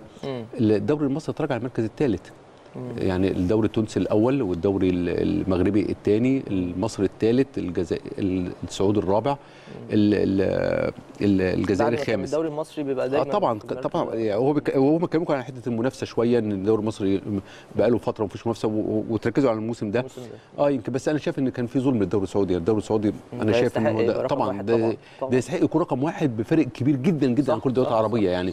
ده حتى تسويقيا الدوري السعودي في تسويقيا الدوري السعودي في وادي وكل المن... ال- ال- الدوريات العربية في وادي تاني خالص يعني. و- وجماهيريا واعلاميا وإمكانيات. ومدربين ولاعبين أجانب يعني يعني حضرتك لو شفنا على موقع ترانسفير ماركت ال- التسويق الدوريات العربية هتلاقي الدوري السعودي واخد. رقم. رقم مهول يعني 10 أضعاف القيمه التسويقيه للدوري المصري 10 أضعاف القيمه التسويقيه بتتكلم في تقريبا كانت 333 مليون دولار القيمه التسويقيه للدوري السعودي ك- بيتكلم في الدوري المصري تقريبا مش عارف 43 مليون دولار أو رقم رقم بعيد جدا يعني رقم بعيد جدا جدا عن الد- الدوري ال- السعودي. حتى الحضور الجماهيري الدوري السعودي مختلف في نتائج. عدد عدد الدربيات في الدوري السعودي أكتر. أكتر بكتير. أنت. بتتكلم على مثلا 8 9 10 ماتشات في في الموسم الواحد مباريات جماهيرية كبيرة جدا. آه يمكن دي موجودة شوية يمكن يمكن هو عندنا في مصر شوية شوية كمان ده بس بنفتقد الجماهير. بن- بن- بنفتقد. يمكن بس الدوري التونسي عشان الفترة اللي فاتت كان في النجم وال- والترجي اللي هو الترجي كسب فيه. امبارح كان في الترجي والأفريقي اللي الترجي كسب فيه 2-1 يمكن شوية بس ال- ال- الدوري التونسي عشان عدد ال- المباريات فيه الجماهيرية بقت كبيرة يعني. آه بالظبط. آه. طيب عايز اتكلم بالتحديد معاك عن مستر رينيه فايلر وانت قربت منه شوية في السفرية اللي فاتت في زيمبابوي مباراة بلاتينيوم كنت متواجد آه، بتقيم المدير الفني إزاي لحد دلوقتي هل ده معاد تقييمه ولا برضه لسه شوية ولا كان إحنا قيمناه خلاص لا لا خلاص؟ لا أعتقد لما مدير إيه؟ فني يلعب 20 مباراة آه. لا خلاص يعني إحنا بالتالي عايز بقى آه تقييم طبعا لا أنا شايف إن هو مدرب هادي آه. ودي ودي ميزة ودي. ميزة مهمة جدا جدا يعني آه ممكن تكون المدرب أنت تشوفه على في الأماكن العامة تلاقيه هادي. ده ده مش شرط إنه يكون في الملعب آه، صح، صح. هادي. مانو جوزيه كنا بنشوفه قد إيه إنسان لطيف وقد إيه إنسان مجامل في الأماكن العامة وقد إيه ودود جدا في التعامل مع ال- الجماهير ومع الشعب المصري بصفة عامة قد إيه ودود وقد إيه لكن لكن في في الملعب كان حاجة تانية. صح. آه، ريني فايرر يمكن أهدى شوية من من جوزيه في الملعب يمكن آه شوية.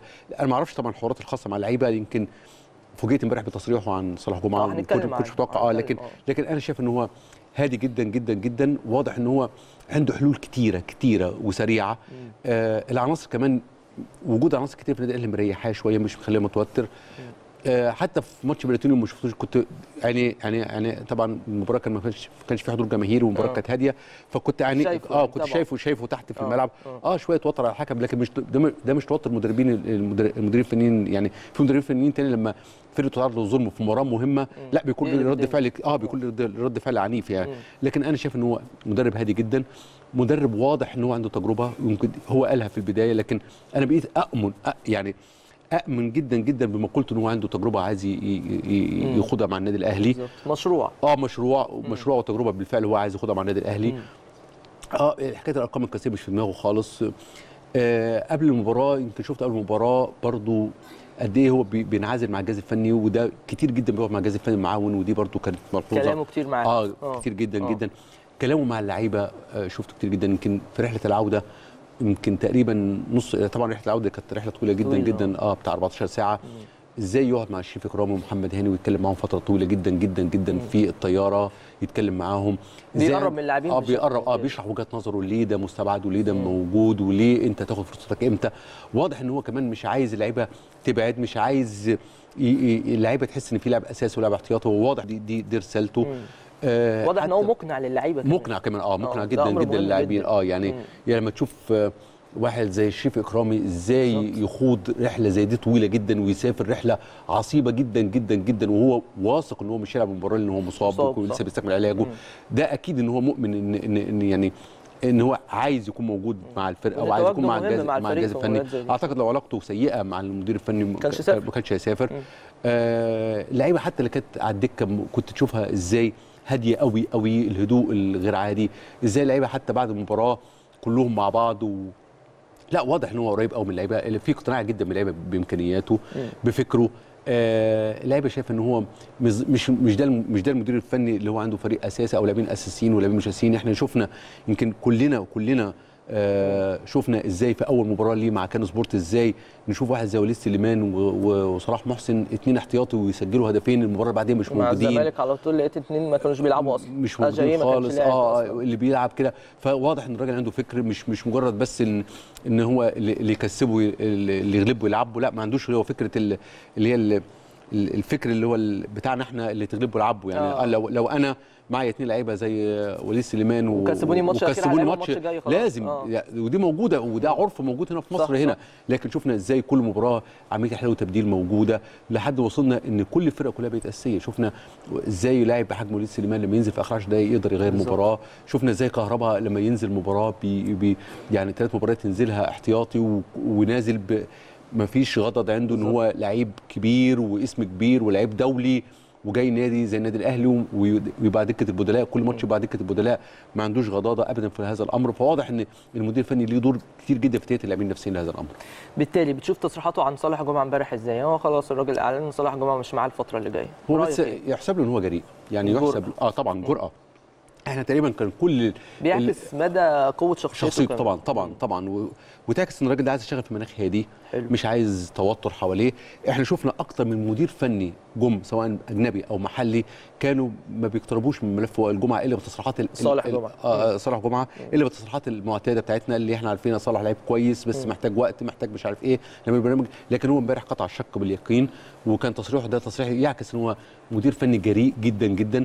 ما يهموش ال social media ما تهموش الإعلام ما يهموش ابدا آه، الإعلام هيقول إيه على هذا التصريح؟ لا واضح هو- مصلحة الفريق بس. آه اهم مصلحة الفريق. بس. الراجل فاصل نفسه تماما عن العالم الافتراضي عالم ال social media. إحنا كنا بنشوف دايما مسؤولين كتير جدا جدا جدا بيخافوا يدلوا بتصريحات بشأن لاعبين كبار خوفا من رد فعل الجماهير. لكن الراجل واضح إن هو الموضوع ده مش فارق معاه تماما. واضح تماما الراجل ده جريء وعايز فرقة تبقى هادية مش عايز مناقصات حواليه. الراجل عارف إن هو مقبل على مرحلة مهمة جدا في الفترة الجاية. وأكيد طبعا تصريحات آه، صالح جمعة أكيد كانت لها دور مهم جدا إن الراجل يخرج بهذا الشكل ويعلن إن صالح جمعة ما يكونش موجود. أعتقد إن صالح جمعة لو كان يعني صمت أو كان ممكن ممكن ما كانش يخرج بس فرصة. آه مش في فرصة يعني أو كان ممكن على الأقل خلاص يعدي المرحلة دي. لكن لكن واضح إن تصريح صالح جمعة آه خلى الراجل حازم جدا. قال لك طالما هو اتكلم يبقى إحنا لازم يكون لنا رد فعل. ورد فعله كانوا يعني هو كان واخد. قرار قبل تصريحات صالح من وجهة واضح ولا واضح. بعد؟ لا لا لا لا طبعا قبليها طبعا قبل. طبعا. آه. واضح تماما إن صالح جمعة خرج حساباته وزيه زي كل المدربين اللي فاتوا. يعني مش بتكلم على فايلر بس. لو لو فايلر بس يبقى المشكلة عند فايلر. لكن لما نشوف قبليه آه، لاسارتي كارترون- لعب على فكرة صالح. لعب الدور الثاني كله تقريبا. آه آه ماشي. لكن ال- الاستمرارية هي المهم. الاستمرارية. مش المهم إن يلعب كام مباراة. المهم الاستمرارية. هي النجومية في الاستمرارية مش في عدد المباريات ولا عدد الأهداف يعني دايما النجم الحقيقي هو النجم اللي يكون رجليه في الملعب دايما وابدا بعيد بغض النظر عن, الإصابة يعني آه لا قدر الله لو في إصابة ده ظروف غصب عنه لكن لما يكون لعيب آه. موجود بموهبة وما يقدرش يفرض نفسه أعتقد تبقى المشكلة عند اللاعب تنصح صالح بإيه خلال الفترة اللي جاية من وجهة نظرك؟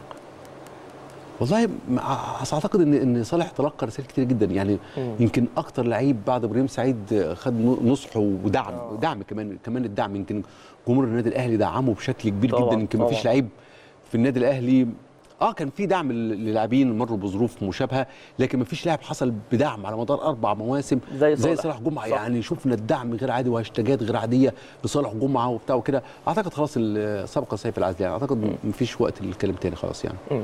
طيب خلينا نخش بقى في الأهم واللي جاي بالنسبة للنادي الأهلي مباراتي النجم الساحلي والهلال السوداني ماتشين ورا بعض مفيش حتى مباراة في النص في الدوري آه. على طول هتلعب الاثنين ورا بعض. خلينا نبتدي بالنجم الساحلي الأول.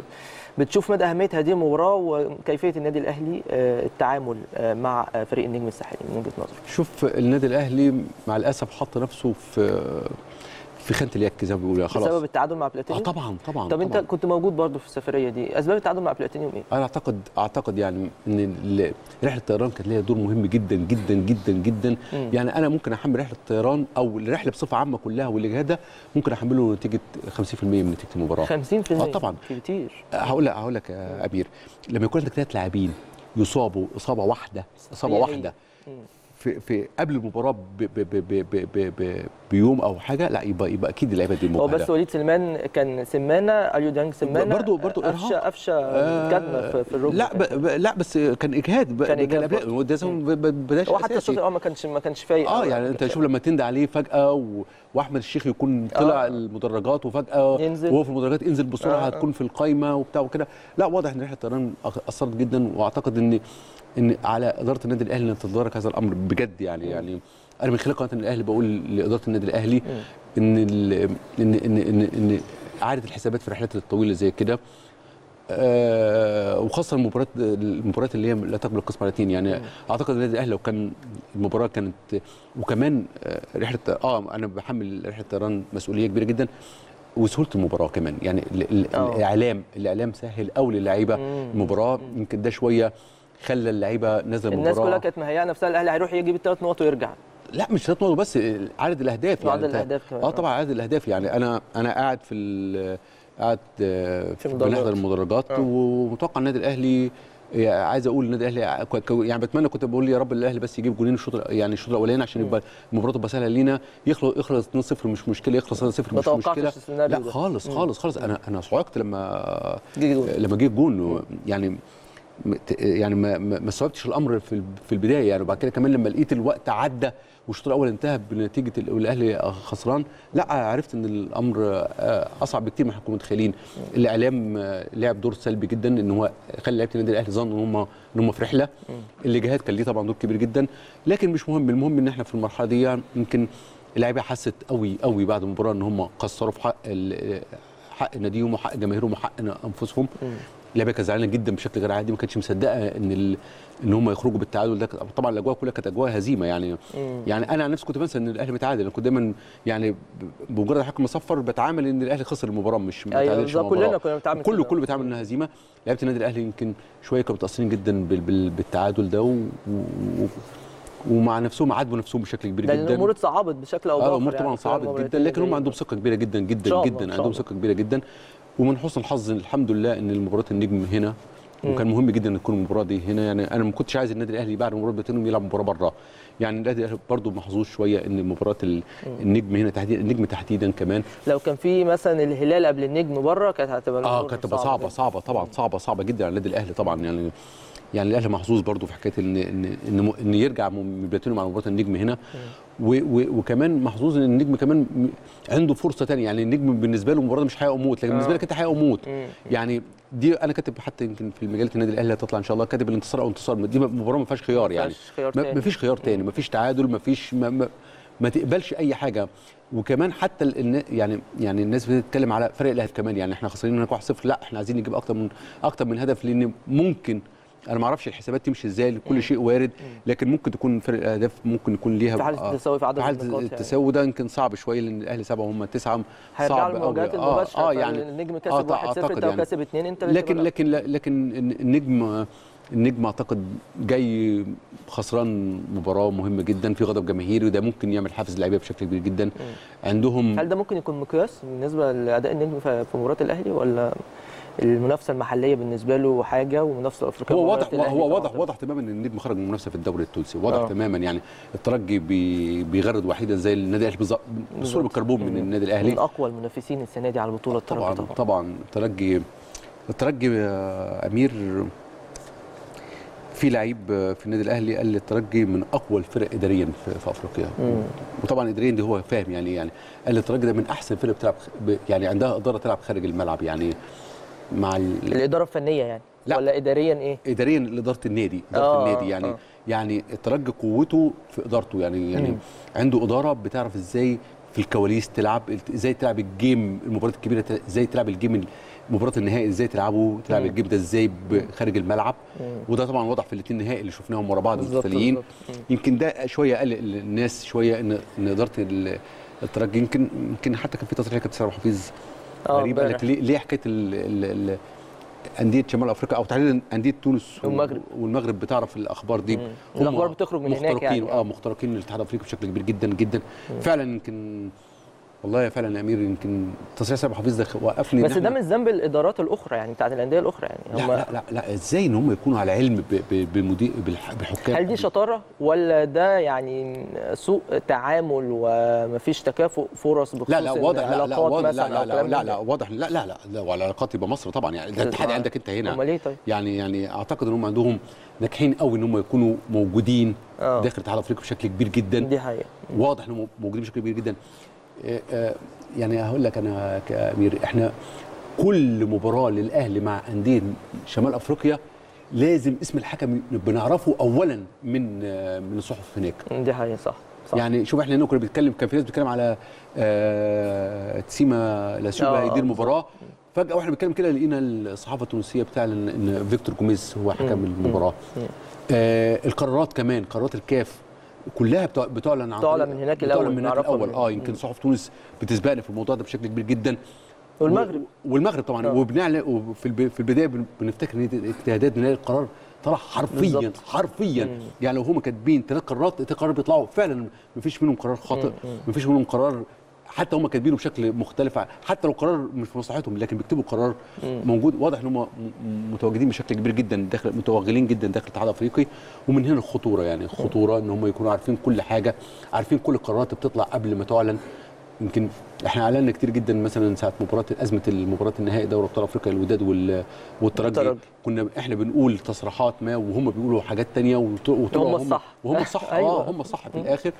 لكن أنا بقول لك هم عندهم مشكلة النجم الساحلي عنده مشكلة. غياب الحارس الأساسي طبعا. آه موقوف بسبب آه، الطرد في والحارس الثالث مصاب وليد الكردان عنده رباط صليبي فعندهم حارس واحد بس هيجوا بيه اللي هو أشرف كرير. وأشرف كرير ده هو حتى لعب المباراة ال- المباراة الأولى بين الأهلي والنجم آه. الساحلي مم، في. في, في رادس. كان هو الحارس موجود. هم عندهم مشكلة مشكلة جدا. حتى عندهم آه هم ما عندهمش اصابات آه آه. زي زي النادي الاهلي ما عندهمش غيابات كبيرة زي رمضان صبحي يمكن هم مهتمين جدا أو النهارده احتفوا بتصريح الدكتور خالد آه آه محمود. محمود خالد محمود مدير بصعوبه لحق آه، رمضان صبحي بشكل كبير. جدا والجماهير هناك بتحتفل ان رمضان صبحي مش موجود وهم عارفين إن رمضان صبحي ده مهم جدا وجوده في في مباراة زي دي وعارفين إن ده لعيب عنده روح قتالية كبيرة جدا فهم يمكن قبل ما أجي لك آه، تابعت أكتر من موقع تونسي بيحتفوا جدا. يمكن الخبر الأبرز عندهم الأبرز بالنسبة آه لك. آه آه، نجم الأهلي غيب عن عن موقعة السلام. كلهم. واخدين الخبر ده بشكل كبير جدا. حتى م- مش حاطين صورة رمضان عشان خاطر يشوفوا عايزين يعرفوا الجمهور يخش يعرف مين آه، النجم ده. هم عندهم عندهم إصابات بس إصابات بسيطة جدا. ياسين الشخاوي عنده إصابة خفيفة عندهم برضو بس لاعب مهم قوي طبعا ياسين الشخاوي. لعيب مهم جدا بيلعب قدام النادي الأهلي من 2007 يعني بالظبط. ياسين الشخاوي ده أنا حضرته في مباراة الأهلي آه، والنجم. والنجم الساحلي آه، آه، السوبر الأفريقي في في أثيوبيا في أثيوبيا. 2007 كان ياسين الشخاوي لاعب صغير وكان نجم الفريق وقتها مم. في ماهر الحناشي برضو عنده مشكلة عنده صدام بن عزيزة وعندهم زياد بوغطاس بس شوية عندهم طبعا المهاجم اللي جابوه جديد آه، رضوان زردوم ده برضو آه جزائري آه لعيب مهاجم كويس جدا جدا. شفت منه النهارده مجموعه أهداف كمان سليماني كوليبالي- موجود سليمان برضه. كوليبالي موجود وعمل تصريح آه قال إيه قال قال فيه يعني إن أنا مباراة الأهلي بالنسبة لي مباراة خاصة جدا ومباراة حساسة جدا بالنسبة. لي أهلا بيه آه إن هو يكون يعني. إن أنا أجي مصر أرجع مم. مصر وأواجه النادي النادي الأهلي بعد الأزمة اللي حصلت دي ده أمر بالنسبة لي هيكون ضغط كبير جدا عليا مباراة حساسة لكن طبعا قال لك إن أنا بتمنى الفوز وكده فهو واضح إن هو عايز شوية عارف إن هو هيكون عليه ضغوط شوية هنا لما يجي هنا بس طبعاً. يعني يمكن شوية من حسن حظه إن للأسف مش هيكون في المدرجات مش هتكون كاملة العدد مهما كان والموافقات الأمنية طبعا مستحيل ال- الأمن يوافق ان ال- الإستاد يبقى على ممتلئ آخره على يعني. آخره. مم. لكن آه، هو اتكلم عن الموضوع ده وواضح إن هو آه، عايز يهدي الأجواء شوية. له تصريح كبير جدا النهارده عن المباراة وقال هو اعترف المباراه بالنسبة له مباراه حساسة جدا وقال إن أنا في كل مكان هكون متواجد فيه في في القاهرة. الناس اتكلمنا على الأزمة بتاعت الشهيرة دي لكن أنا أتمنى إن إحنا نكسب المباراه دي عشان نحسم أمر التأهل ده ونتفرغ لبطولة الدوري. اللي إحنا موقفنا صعب جدا في الدوري. يمكن النهارده كمان كانوا عاملين تقرير ل آه الأسباني خوان كارلوس جاريدو آه طبعا. المدير الفني السابق للنادي الأهلي المدير الفني ال- لعب 16 مباراة قاد آه، آسف 10 مباريات بس آه، قاد النجم الساحلي في 10 مباريات أربعة في دوري الأبطال كسب ثلاثة وخسر مباراة. واحدة. ودي نتيجة هم شايفينها كويسة جدا جدا ان هو يكسب بما إنه. مدير فني جديد آه كمان. بم- لكن في الدوري لعب ست مباريات خسر ثلاثة. هي مباراة. كمان خاصة لجاريدو يعني آه كمان آه فطبعا هم واضح إن هم مباراه الأهلي بالنسبة له آه اعلاميا الإعلام هناك منتظر نتيجته مع الأهلي هنا مم. بشكل كبير جدا قالوا مفيش عندك أي مشاكل ده فريق أنت كنت بتدربه. الأجواء أنت عارفها كويس جدا في مصر عارف الملعب كويس. قال حتى أرضية الملعب أنت عارف أرضية الملعب كويس جدا. مم. أنت مش محتاج حتى هم قالوا أنت مش محتاج إنك تروح مبكر. هم جايين يوم الخميس قال لك مش محتاج إنك أنت تروح مبكر القاهرة ولا تروح تعمل خمس تدريبات ولا محتاج إنك تدرس لعيبة النادي الأهلي. أنت لعبتهم قريب وغير إنك أنت لعبتهم قريب أنت عارفهم عارفهم كويس. أصلا وعارف مم. الأجواء في مصر كلها وعارف التحكيم في القاهرة بيكون إزاي. فواضح إن الإعلام ال- التونسي حمل جريدة ضغوط كبيرة جدا قبل المباراة دي. فإن شاء الله ده أمر إيجابي بالمناسبة ب- بالنسبة إن شاء الله بإذن الله شايف إن فرص النادي الأهلي طبعا بإذن الله طبعا لأن مفيش خيار بالنسبة فرص الأهلي كبيرة جدا إن شاء الله بإذن الله والأهلي قادر وإن شاء الله بإذن الله بس المنافسة ثلاثية قوية جدا ما بين الأهلي والهلال والنجم يعني الهلال دلوقتي لو كسب بلاتينيو آه طبعا فبالنسبة صعب. له مباراة الأهلي آه في طبعاً. السودان هتبقى يعني حياة. أو موت يعني طبعا وال... من هنا جاي من هنا جاية قوة المنافسة شوف آه، أمير ال- الأهلي فنيا أعلى من الهلال بكتير جدا آه. الفوارق الفنية بين الأهلي والهلال كبيره جدا لكن بجد بجد يعني ال ال ال إن نادي مصري يروح يكسب في السودان ده أمر صعب جدا صعب جدا. وخاصة الهلال والمريخ الأهلي يعني ما كسبش هناك قبل لا لا خالص خالص يعني يمكن آه، يمكن أفضل نتيجة كانت مرة تعادل, تعادل. سلبي آه تعادل سلبي على ما أتذكر يعني. لكن بجد الأجواء في في في في, في السودان. صعبة جدا جدا جدا جدا على حتى لو. موقف الفريق يعني صعب أو عنده مشاكل زي رحيل كابتن حماده مدير ولا أي. مشكلة لا لا هم دي بالنسبة لهم مباراة قمة دي دي قمة آه. وادي النيل بالنسبة لهم دي حاجة تانية الحضور الجماهيري عندهم طبعا طاغي بشكل كبير جدا الحقيقة. جمهور مش ممكن مم. بتشوفه عندهم حماسة غير عادية الجمهور ده كمان بي بي يعني في فعلا جماهير بتلعب آه، بتكون اللاعب رقم واحد مش رقم 12 آه، في أنا شايف إن فريق زي الهلال السوداني والمريخ السوداني دول بجد من من الأندية اللي اللي, عامل الجمهور عندهم مهم جدا طبعاً، جدا طبعاً، جدا. طبعاً. يعني ده فعلا رقم رقم واحد. يعني أنا شايف إن إن زي ما بشوف إن أنا بشوف دايما إن مازيمبي هو أشرس فريق افريقيا على أرضه. فعلا. يعني أشرس فريق يعني يعني والوداد. لا لا، يعني الوداد بس أنت ممكن مع الوداد إن ب- لو لو أنت فرقتك كويسة كويسة آه ممكن تعمل نتيجة إيجابية والنادي الأهلي عمل نتيجة إيجابية قبل كده قبل كده آه بس ما كانش الوداد بيلعب على ملعبه آه آه لكن لما الوداد بيلعب على ملعبه الأمور بتبقى صعبة جدا آه ملعب لا لا الوداد لا الأهلي عمل في, المغرب مع الوداد أيوه بس كان ملعب. تاني لأن ملعب مركب محمد الخامس كان الخامس. فيه اصلاحات وكده آه، آه، لما لكن- كسبنا بهدف رامي ربيعة ما كانش الملعب ده كان لا تاني. لا ومرة قبل كده أيام أبو تريكة لما أيام أبو تريكة، آه آه، واحد. واحد هناك كان في الملعب الرئيسي الملعب؟ مركب. محمد الخامس وكان الملعب ممتلئ عن آخره والاهلي تعادل واحد واحد هناك وقتها آه لكن أنا شايف ان ان ان إن فرقة مازيمبي هي الأقوى فرقة على أرضها في أفريقيا أقوى آه. فرقة على أرضها في أفريقيا فعلا، فعلا. يعني يعني أقوى من ما بتخسرش عرضها مستحيل آه، يعني صعب. لا وكمان الفريق الفريق الوحيد اللي لما بيفوز يفوز بسلاسة جدا يعني يعني ولا محتاج آه التحكيم يسانده ولا محتاج ولا الضغوط كمان بت بت بالتالي بتشوف بتشوف الفرق اللي بتنافس على اللقب السنة دي مين أنا شايف طبعا مازيمبي طبعا أنا بحط مازيمبي دايما مازيمبي؟ آه أنا أحط الترجي لأسباب أخرى مش عشان هو قوي فنيا لا قوي طبعا الترجي آه، طبعا هو قوي, قوي، فنياً. عنده- آه طبعا عنده لعيبة لا زي لا دي. عنده لعيبة كويسة جدا مم. لكن لكن لكن أنا شايف إن مثلا لو لو لو مازيمبي لو ما- لو الترجي ومازيمبي بيلعبوا مباراة مع بعض ذهاب وعودة لا أعتقد إن إن بعيد عن الأمور التحكيمية وبعيد بعيد عن اللعب خارج البساط لا طبعا تبقى مازيمبي أقوى من من, الترجي فنيا. لكن طبعا لا السنة دي شايف لا في فرق كتير جدا. مازيمبي قوي جدا سان داونز قوي. جدا الترجي الزمالك الأهلي. في خمس أندية آه، بشكل كبير جدا. النجم أنا مستبعده بصراحة. يعني النجم مستبعده من نفسه حتى لما يتأهل. آه حتى لما يتأهل لا آه. فريق النجم مش فريق بطولة يعني. يعني على الأقل السنة دي السنة دي مش مش فريق بطولة. مم. آه ممكن يتأهل بإذن الله هو الاهلي يتأهلوا مع بعض. أو الأهلي والهلال أي أي مكان يعني الأهلي مع أي حد منهم لكن المهم شاء المهم. الأهلي لكن أي فريق مع الأهلي هيتأهل على المجموعة دي مش هيكمل في الأدوار النهائية. إن شاء الله نتمنى كل التوفيق للنادي الأهلي في مسيرته الأفريقية وبإذن الله يتأهل لدور الثمانيه مش بس كده إحنا هدفنا اللقب طبعاً باذن الله تعالى. مفتقدينه بقالنا فترة عايز سريعا أتكلم معاك في بعض الجوانب المحلية بالتحديد آه، فيما يتعلق ببند تضارب المصالح في آه، بخصوص لائحة النظام الأساسي الخاصه باتحاد الكره. في البداية في البداية كان في جس نبض كده من بعض أعضاء الاتحاد أو اللجنة الخماسية الحالية مع الفيفا بخصوص إلغاء بند عدم الترشح إن هم. يترشحوا للانتخابات، رأيك. إيه في الموضوع تمام. ده؟ هي الفيفا رفضت خلاص. آه طبعا طبعا آه. وكان م- من الطبيعي ومنطقي إن الفيفا طبيعي. عارفة آه. والفيفا هي الغريبة بس الغريبه الغريبة اللي هي جس النبض اللي حضرتك بتقول. آه يعني إيه لازم يعني غريبة أنت أنت كده كده عارف إنك أنت جاي عمل عمل آه. آه. فترة مؤقتة.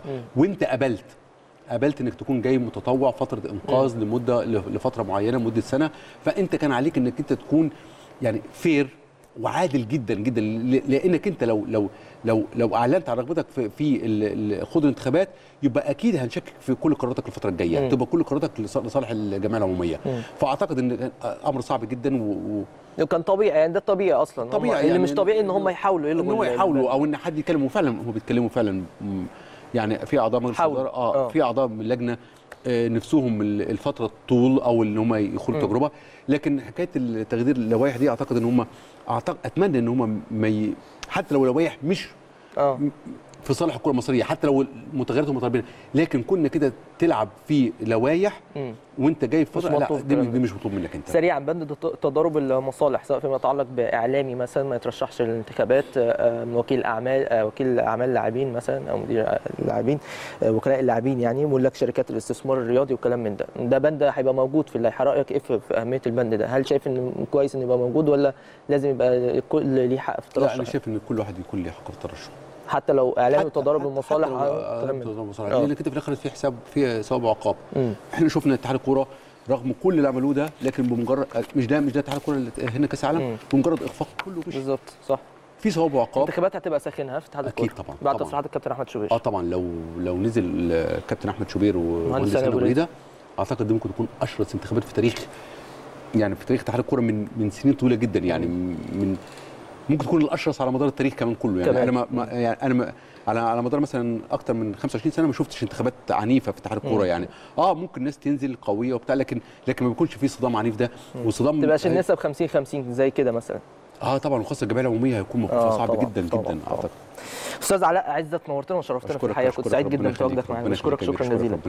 أستاذ علاء عزت الناقد الرياضي الكبير بالأهرام كان ضيفنا العزيز في حلقة اليوم من كلام في الميديا. دي كمان كانت حلقتنا بكرة حلقة جديدة وأخبار جديدة عن النادي الأهلي. انتظرونا إلى اللقاء.